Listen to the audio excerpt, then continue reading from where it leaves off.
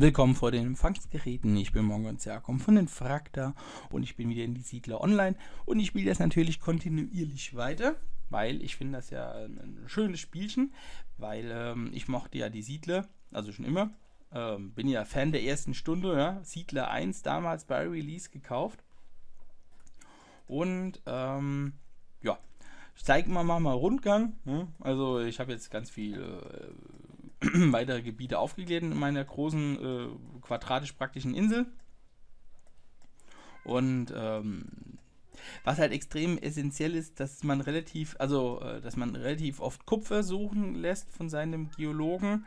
Ähm, das ist so, wenn jetzt äh, in dem Spiel ist es jetzt nicht so, dass wenn da hier dieser Felsblock irgendwie einmal da eine Mine war, da eine Mine, dass der leer ist. Also wenn ihr die Minen abreißt, weil die erschöpft sind und ihr lasst den wieder suchen, den guten Mann, dann findet er irgendwie an der Stelle zehnmal hintereinander irgendwie Stein oder Kupfer oder irgendwas. Also immer abreißen, ja. Verbraucht die Minen immer abreißen, an der Stelle findet man wieder was anderes. Das ist unerschöpfliche Felsen. So. Ähm, und Kupfer ist halt essentiell, weil man damit Werkzeuge herstellt. Werkzeugschmied ist extrem wichtig, weil ohne Werkzeug kann man eigentlich kein höheres Gebäude bauen. Ähm, hier in den höheren Bereichen. Mittlerweile habe ich da, äh, bald hier die Eisenmine fertig ist, hier hinten, also die Eisenerzmine, zeige ich euch das auch nochmal. Habe mir einen ganzen Haufen Wohnhäuser gebaut, damit ich möglichst viele Truppen unterhalten kann. Ähm, Im Moment kann ich maximal 200 Mann. Achso, die könnte ich jetzt eigentlich mal einsetzen, genau. Also ich habe jetzt mittlerweile Reiter und ähm, Moment, das kann ich euch noch zeigen, bevor ich sie verheiz. Ähm, genau, ich habe Reiterei und Miliz. Das, die brauchen Eisenschwerter, die brauchen Pferdchen. So, jetzt aber. Dann erobern wir jetzt mal das nächste Gebiet. Also das hier oben ist jetzt das äh, Territorium, das ich jetzt die ganze Zeit gereinigt habe von diesen Räuberlagern, die da ja auch überall standen. Und das ist jetzt nur noch der Räuberhauptmann übrig. Wenn ich den platt gemacht habe, ist das Territorium hier oben theoretisch unser. Dann muss ich hier noch so ein, hier sowas hinbauen, so ein Lagerhaus und damit ist es dann erobert. Wobei die Grenzen irgendwie bleiben. Hier, äh, das sind dann scheinbar Provinzgrenzen oder so. Das sind das halt einfach so blaue Dinge. Ähm, ja. Hier unten, also was auch wichtig ist, ist halt einfach Getreide. Da habe ich da ganz viele Bauernhöfe mittlerweile, ganz viele Felder, die sie abernten können, weil zum Beispiel die Pferdchen brauchen äh, Getreide und Wasser, die ähm, Brauerei braucht äh, Getreide und Wasser, wo sie? Da. Die stellt nicht Malzbier, mit dem man auch Truppen herstellt. Ähm, die natürlich die Mühle braucht, Getreide, um Mehl herzustellen, ist irgendwie logisch, gell? Und ähm, ja, Brot ist halt ganz wichtig. Also das ist wirklich essentiell, immer darauf achten, dass mehr als genug oh, ähm, ähm, Kupfererz gefördert wird, beziehungsweise auf Lager liegt und dass man ganz viel Getreide anbaut. Das ist so, ähm, so mein Ratschlag jetzt nach einiger Zeit, die ich in dem Spiel verbracht habe. Ich habe immer ganz rausgefunden, für was ich eigentlich dieses ganze Gedöns da immer einsammle ich habe so das Gefühl, äh, wenn ich mal die ganze Karte erforscht habe, dann gibt es quasi ähm, irgend solches Sammelzeug einmal am Tag oder sowas. Und wenn ich alle von denen habe, dann kriege ich irgendwas. Also andererseits erklärt sich das für mich nicht. Ich sammle hier ab und zu mal irgendwas ein. Da steht hier immer, wird ins Lagerhaus aufgenommen. Ja, keine Ahnung, was das soll. Äh, wo ist eigentlich mein General unterwegs? Ach, der Hobbel da.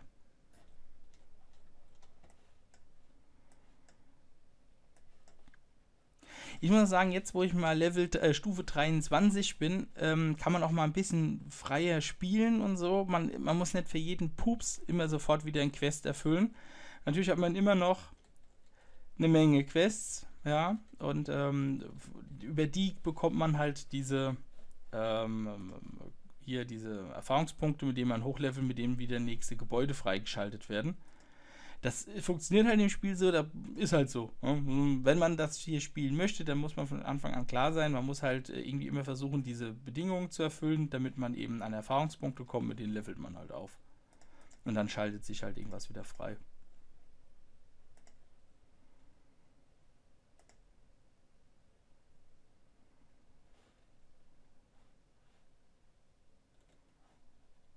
Na, das ist das nächste. Ich muss noch eine Mühle, glaube ich, bauen mal. Boah, mal gucken. Ähm, Brauche ich aber noch mehr Bauernhöfe. Dann werde ich hier äh, hier hinten, glaube ich, roden und dann werde ich da eine äh, noch mehr Getreide anbauen. Ich habe auch festgestellt, hier oben gibt es Felsen. Ah, hier. Die sind zerstörbar. Äh, wenn man die jetzt also weghaben möchte, theoretisch, um da irgendwas zu bauen oder so, dann kann man da verschiedene Felsformationen zerkloppen lassen. Sehe ich jetzt aber ehrlich gesagt nicht als sinnvoll an, weil ich brauche ja möglichst viele Gebirge für möglichst viele Minen. Ja.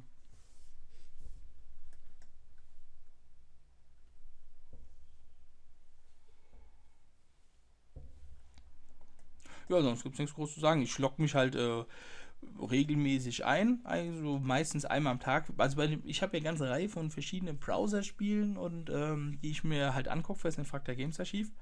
Ähm, weil ich halt denke, es, es, ist durchaus sinnvoll, äh, nicht irgendwie einmal in so ein Spiel reinzugucken und sagen, ja, das sieht jetzt so und so aus.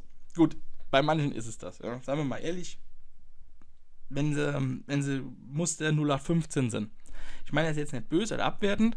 Äh, diese Spiele haben auch ihre Fans, wie zum Beispiel halt, ähm, ja, so Good Game Empire oder hier, ähm, na, wie heißt hier, äh, Stämme. Ja, und, und, und alles, was quasi Stämme-Klone sind. Da gibt es ja genug von das sind halt Spiele, da kommt man rein und man sieht direkt quasi nach 10 Minuten Spielzeit, okay, das ist dieses Standardmuster. Da wird jetzt auch nichts mehr großartig überraschend kommen. Die unterscheiden sich ein bisschen in der Grafik, ein bisschen in der Story. Man, der eine oder andere hat vielleicht noch so ein Minispiel dabei oder, oder zeigt irgendwas ein bisschen mehr. Also die Schlacht wird vielleicht ein bisschen besser dargestellt oder so. Hier Forge, irgendwas, hatte ich doch mal angeguckt. Da, da hast du wenigstens so eine rudimentäre Schlachtdarstellung. Ja, bei ganz vielen hier ist es ja auch so, wird das einfach nur ausgewürfelt, mehr oder weniger, und dann kriegst du halt nur das Ergebnis am Ende gezeigt. Wobei hier bei Siedler liegt ja der, der, der, der liegt ja auch nicht, der, also der Schwerpunkt ja definitiv nicht auf Kampf. Und soweit ist das ja hier nicht weiter tragisch.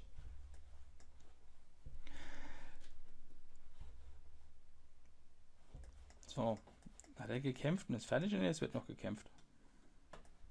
Also hier sieht man, da kloppen die sich halt und der Kampf schreitet voran.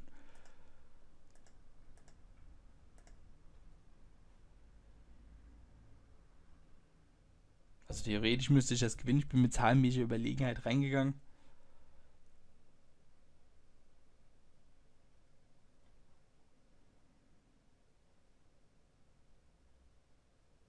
Einerseits ist ein Hauptmann dabei. Ja. Gut, wir haben gewonnen.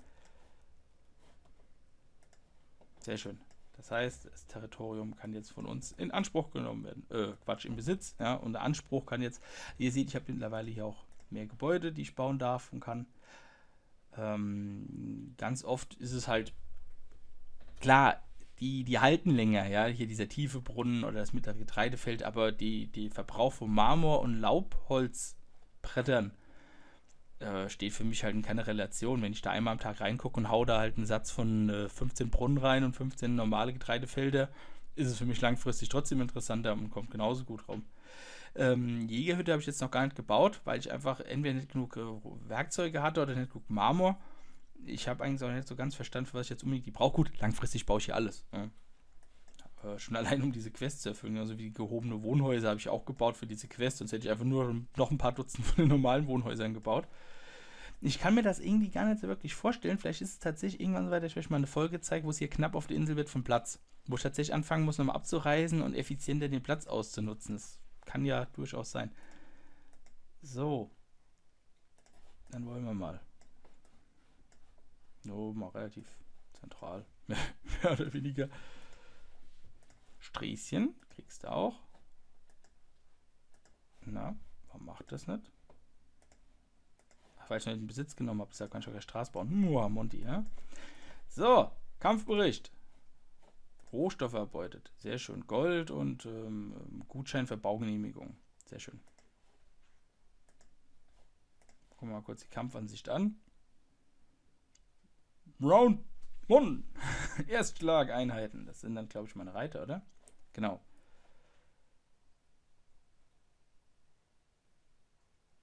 Ja, das war ja ein hervorragender Kavallerieangriff. Auf vier Mann hat er verloren. Ja, das wird jetzt nicht so gut laufen für meine Nahkämpfer. Die sind halt zahlenmäßig übelst äh, unterlegen, aber ich habe halt eine Menge Bogenschützen dabei. Genau, das.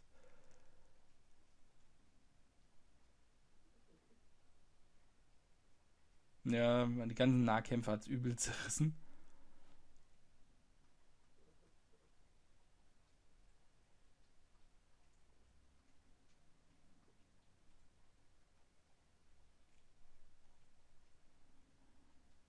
So, jetzt überschüttet es nochmal mit Pfeilen, dann ist gut.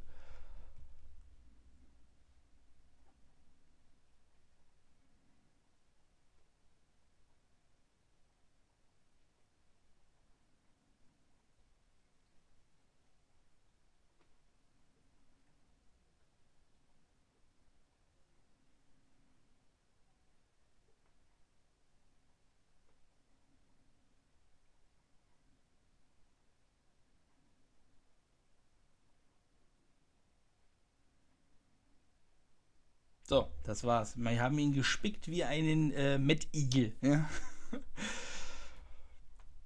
oh, ich könnte eigentlich mal wieder 300 gucken. Also nicht wegen Mettigel, sondern wegen Ende eben dieser. Dann kämpfen eben im Schatten, wenn sie ihren lustigen Kugelbau da machen aus den Schilden und die, die Perser überschütten halt mit Pfeilen. Einfach ein, ein epische, eine epische Comic-Verfilmung. Das ist ja etwas, was für Militärhistoriker immer irgendwie so ein, so ein gewisses vages Schuldgefühl im Bauch hinterlässt. Man weiß genau, dass es eine Comic-Verfilmung ist und dass es halt mit Geschichte nur rudimentär zu tun hat. Aber man mag die Filme trotzdem. Man findet es ja trotzdem cool.